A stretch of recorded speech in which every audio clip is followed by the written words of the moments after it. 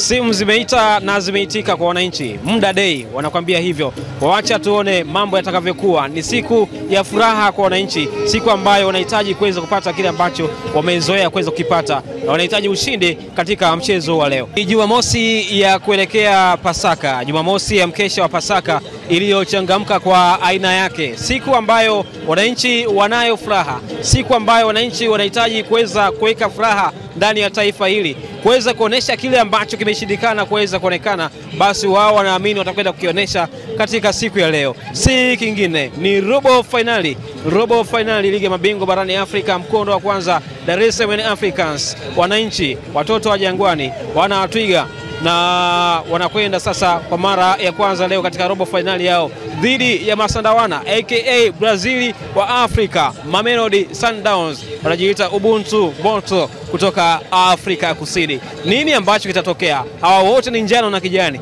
wanakwenda kukutana ndani ya dimba la Benjamin Mkapa, ardhi takatifu ya Dar es Salaam. Nini ambacho kitatokea? Hakika nyasi zitachimbika zipata waka kwelikweli katika mchezo huu wa leo ndani ya dimba hili la Benjamin Mkapa jijini Dar es Salaam. Hivi sasa kinachoendelea ni shamra shamra mbalimbali, mashabiki wanaendelea kuingia katika uwanja huu, ndicho ambavyo hali ilivyo, na matarajio ni kwamba huenda mageti huenda uwanja ukajaa kutokana na mageti ambayo tayari yamekwisha kufunguliwa, lakini kumbuka pia maeneo ya mzunguko yote ni bure na washabiki wanaingia kwa uzuri kabisa eh, kwa hali hiyo ambayo imeruhusiwa ime kwa maana ya kuingia bure katika uwanja huu, na shamra shamra hapa nje ya uwanja na ndani ya uwanja kwa ujumla zimetaradadi. Hakika wananchi wana hamasa kubwa na wanahitaji kuweza kwenda kufanya jambo kubwa katika mchezo huu wa leo, namna ambavyo ukiangalia nyuso zao zilivyo na furaha, ukiangalia maandalizi yao jinsi ambavyo wanaonekana wamejipanga kwenda kushangilia na wamejipanga kwenda kupata kile ambacho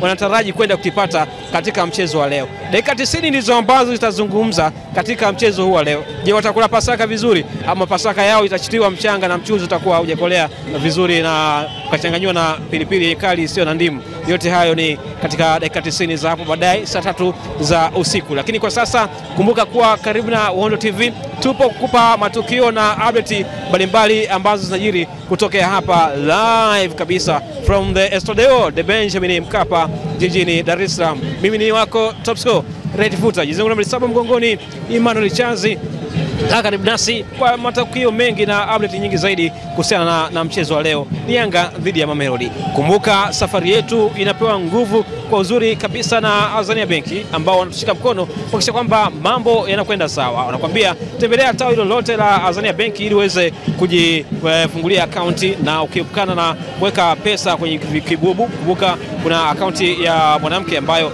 inakuwezesha wewe mwanamke kuepukana na kufungua akaunti eh, kuweka pesa kwenye vibubu ama kwenye vikoba, basi fika Azania Benki ili uweze kufungua akaunti hiyo kwa uzuri kabisa na uweze kupata huduma mbalimbali kwa uzuri kabisa zaidi. Fuatilia Uondo TV, tupo hapa kukujuza kinachoendelea Yanga dhidi ya Masandawana Mamelodi Sundowns. Mwenzangu ni Jovin Machele.